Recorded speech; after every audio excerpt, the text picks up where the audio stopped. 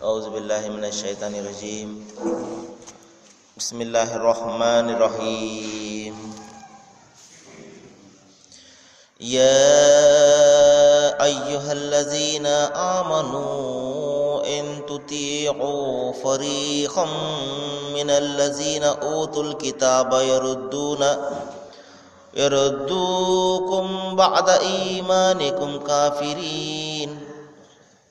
وكيف تكفرون وأنتم تتلى عليكم آيات الله وفيكم ورسوله ومن يأتسم بالله فقد هدي إلى صراط مستقيم صدق الله العظيم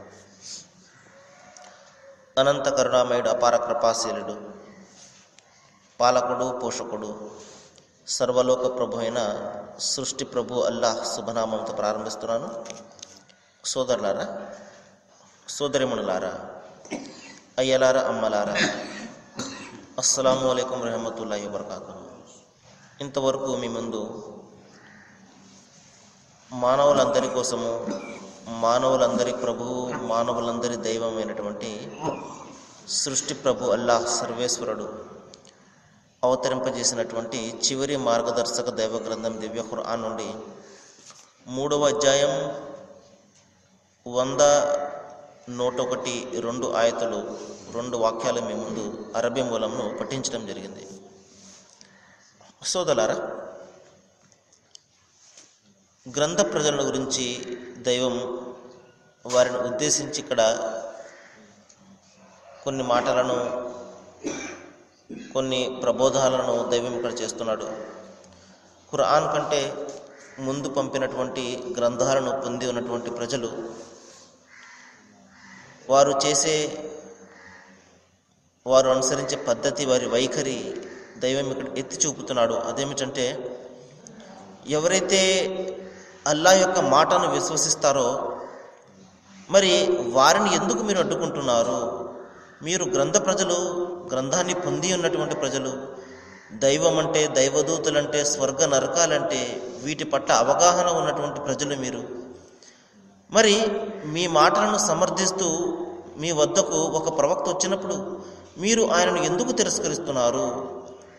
ఆయన మీద అవతరింపబడినటువంటి అవతరింపజేయబడినటువంటి గ్రంథాన్ని ఎందుకు తిరస్కరిస్తున్నారు అని దైవము సూటైనటువంటి ప్రశ్నలను సంధిస్తున్నాడు. ఆ తర్వాత ఈ విధంగా వారి యొక్క ఆగడాలను ఎత్తి చూపిన తర్వాత విశ్వసించిన ప్రజలకు అంటే దైవాన్ని విశ్వసించిన ప్రజలకు ఇక్కడ మరికొన్ని సూచనలు చేస్తున్నాడు. అదేమిటంటే విశ్వసించినటువంటి ఓ ప్రజలారా మీరు గ్రంథ ప్రజలలో ఒక వర్గం వారి మాటను వింటే వారు మిమ్మల్ని విశ్వాసం నుండి అవిశ్వాసం వైపునకు మరలిస్తారు. సోదలరా ఇక్కడ ఒక హెచ్చరికను చేస్తున్నాడు. అదేమిటంటే ఎవరైతే దైవం ఒక్కడే అని విశ్వసిస్తారో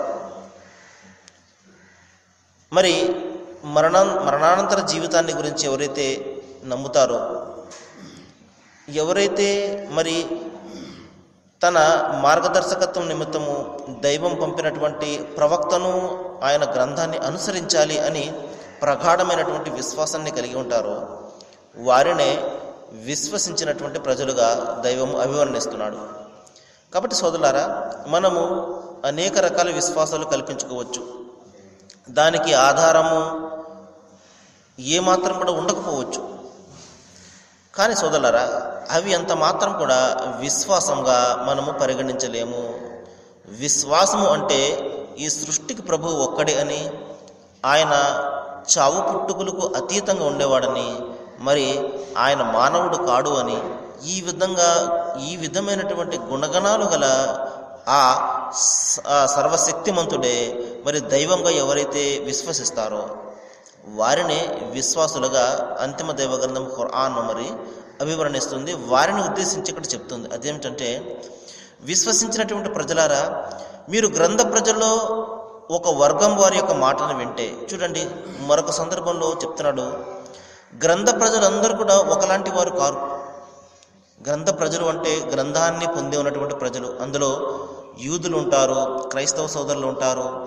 ఇంకా ఎవరెవరి వద్దకైతే దైవ గ్రంథము మరి పంపబడిందో వారిని అందరినీ కూడా గ్రంథ ప్రజలుగా దైవము మరి ఒక గౌరవంతో సంబోధిస్తున్నాడు. అందులో అందరూ కూడా సరైన సరైనటువంటి వ్యక్తులు ఉండరు. ప్రతి ధర్మంలో కూడా ఇదే విధంగా ఉంటుంది. అందరూ కూడా మంచి వాళ్ళు ఉండరు. కాబట్టి మనము ధర్మాన్ని అనుసరించే వాళ్ళని చూసి ధర్మాన్ని అంత మాత్రం కూడా అంచనా వేయకూడదు. కాబట్టి ఎవరో ఒకరు ఏదైనా ఒక తప్పు చేసినట్లయితే దానిని మనము ధర్మానికి అంత మాత్రం కూడా ఆపాదించకూడదు. అది ఎవరైనా కానివ్వండి. కాబట్టి ఇక్కడ దైవం ఏం చెప్తున్నాడు అంటే గ్రంథ ప్రజల్లో అందరూ మంచివారు ఉండరు. అలాగనే అందరూ చెడ్డవారు ఉండరు. మరి మంచివారిని గురించి దైవం చెప్తున్నాడు వారు రాత్రి వేళలో మరి దైవారాధన చేస్తుంటారు. తమ తమ రాత్రులను వాళ్ళు దేవుని యొక్క ఆరాధనను నిలబడి మరి సాష్టంగపడి దైవాన్ని వేడుకుంటూ ఉంటారు అని చెప్పడం జరిగింది. ఇంకా నిజమైనటువంటి గ్రంథ ప్రజల గురించి మరి యూదులు క్రైస్తవ సోదరుల గురించి మరి అంతిమ దైవ గ్రంథంలో ఖురాన్లో చెప్పడం జరుగుతుంది. వారు ఎప్పుడైతే ఈ గ్రంథాన్ని వారు వింటారో లేకపోతే చదువుతారో వెంటనే వాళ్ళ కళ్ళు అశ్రువులు రాలుస్తాయి. కన్నీళ్ళతోటి వారు ప్రార్థన చేస్తారు. ఏమని? ఓ దైవమా నీవు మా వద్దకు పంపినటువంటి గ్రంథాన్ని విశ్వసించాము. మరి ఇప్పుడు పంపినటువంటి ఖురాన్ను కూడా మేము విశ్వసిస్తున్నాము. అని వారు మా పేర్లు సాక్షుల మరి జాబితాలో రాయి అని వారు నిష్కలమైన మనస్సుతోటి వారు సాక్ష్యం ఇస్తారు అని దైవం చెప్తున్నాడు. ఇటువంటి వారు తమ తమకు ప్రతిఫలంగా మరి రెట్టింపు స్వర్గాన్ని పొందుతారు అని దైవము మరి వారికి రెట్టింపు స్వర్గం యొక్క శుభార్తను కూడా ఇస్తున్నాడు. ఒకటి ఎందుకంటే తమ వద్దకు పంపబడినటువంటి గ్రంథాన్ని విశ్వసించినందుకు ఇక రెండవది ఏమిటంటే తమకు తర్వాత వచ్చినటువంటి అంతిమ దైవ గ్రంథం ఖురాన్ను కూడా విశ్వసించినందుకు వారికి నేను రెట్టింపు ప్రతిఫలాన్ని ప్రసాదిస్తాను అని మరి వాగ్దానం చేయడం జరిగింది. కాబట్టి అందులో చాలా మంచి వాళ్ళు ఉన్నారు సోదరులారా. మరి అంతిమ గ్రంథం దైవం పంపినటువంటి ఖురాను సాక్ష్యమిస్తుంది వాళ్ళలో వాళ్ళలో ప్రపంచాన్ని పరిత్యజ పరిత్యజించినటువంటి సన్యాసులు మరి పాదరీలు ఉన్నారు అని చెప్పేసి దైవము అంతిమ గ్రంథం ఖురాన్లో సాక్ష్యమిస్తున్నాడు అయితే అందరూ ఆ విధంగా ఉండరు. మరి కొంతమంది మార్గాన్ని తప్పించే వారు కూడా ఉంటారు. వారి గురించి ఇక్కడ చెప్తున్నాడు. కొంతమంది మాటలను మీరు విన్నట్లయితే విశ్వాసం నుండి మిమ్మల్ని అవిశ్వాసం వైపునకు మరలుస్తారు. దైవం ఒక్కడే అని మీరు విశ్వసిస్తున్నట్లు విశ్వసిస్తూ ఉన్నప్పుడు వారు అంటారు కాదు కాదు దైవం పైనుండి క్రిందకు వచ్చాడు అని లేకపోతే మానవతారంలో వచ్చాడు అని మిమ్మల్ని మార్గం తప్పిస్తారు. జాగ్రత్త అని దైవము మరి ఇక్కడ హెచ్చరిస్తున్నాడు. మరి మీరు ఏ విధంగా అవిశ్వాస వైపునకు మరలుతారు? ఎందుకంటే మీ వద్ద అంతిమ దైవ గ్రంథం ఖురాన్ రూపంలో దేవుని వాక్యాలు వినబడుతూ ఉన్నాయి.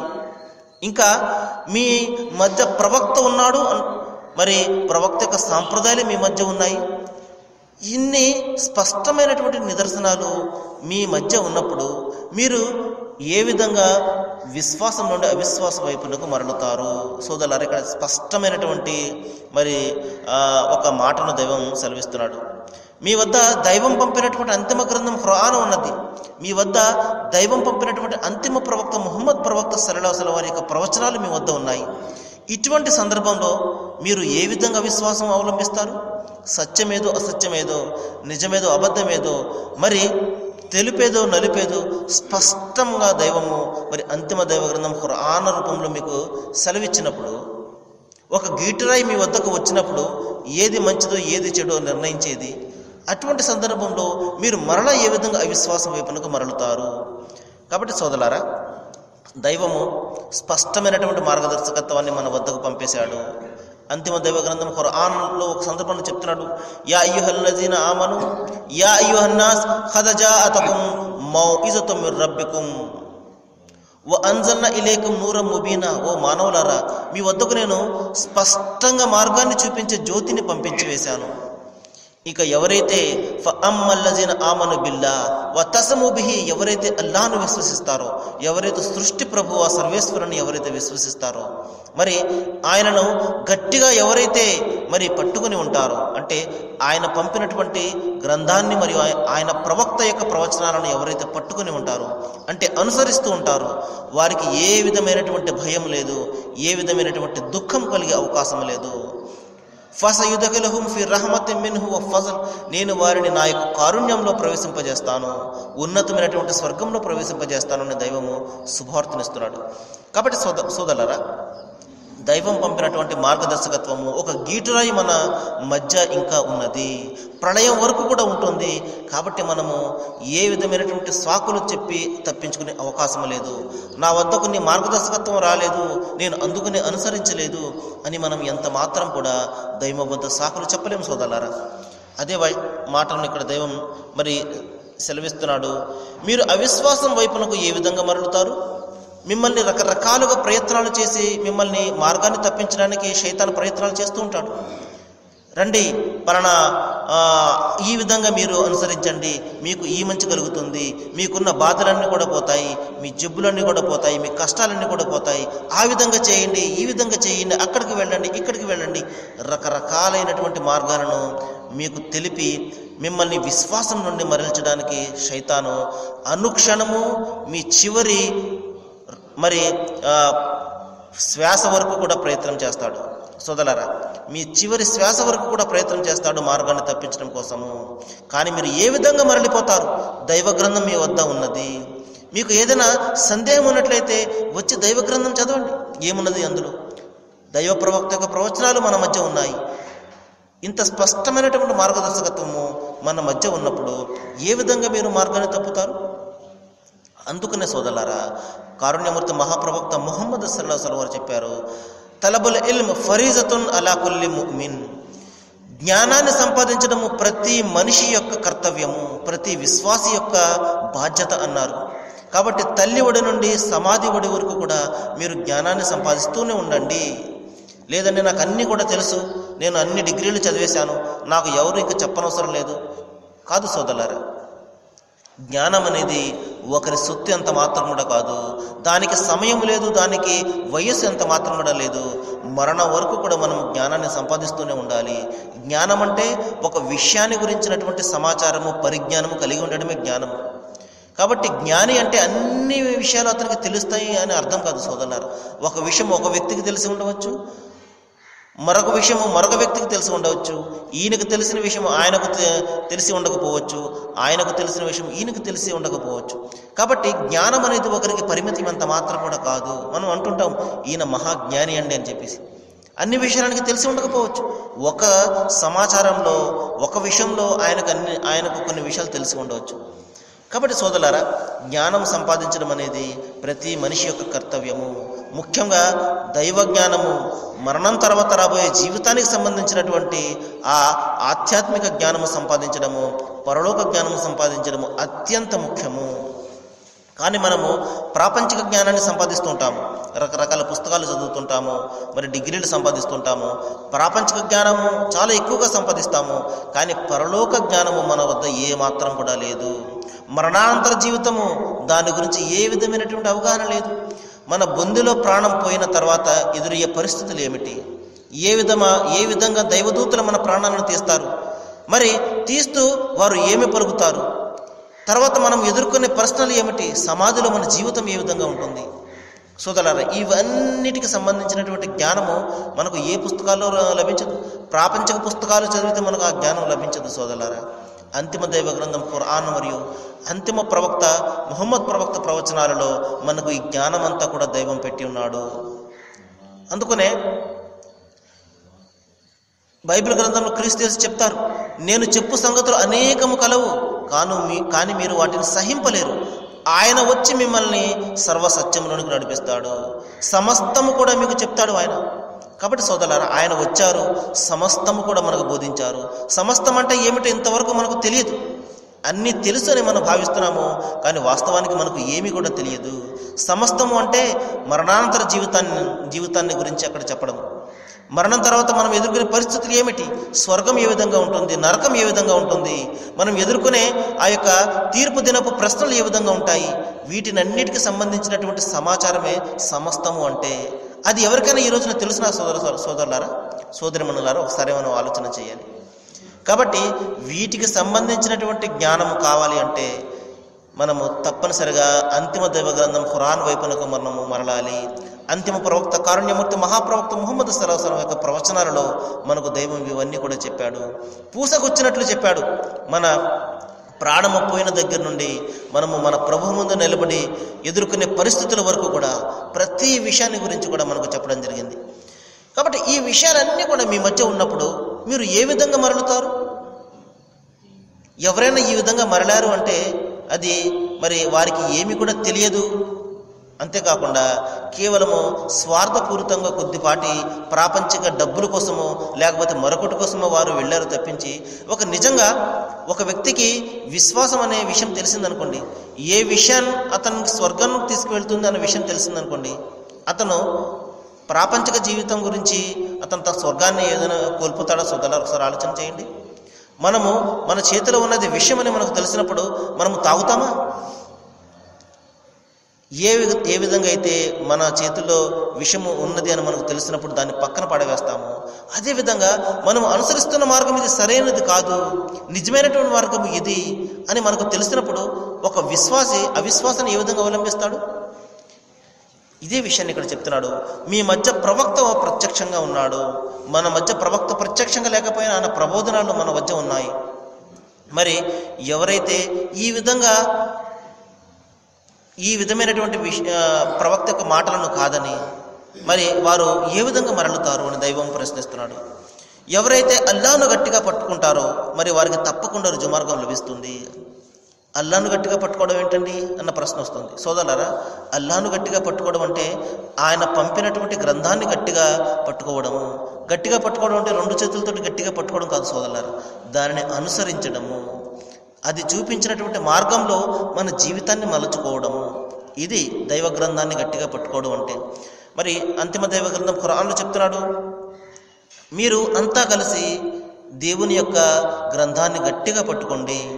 దైవ ప్రవక్త ప్రవచనాలను గట్టిగా పట్టుకోండి అన్నాడు. దీని అర్థం ఏమిటంటే మీరు తూచా తప్పకుండా దానిని అనుసరిస్తూ ఉండండి అని అర్థము.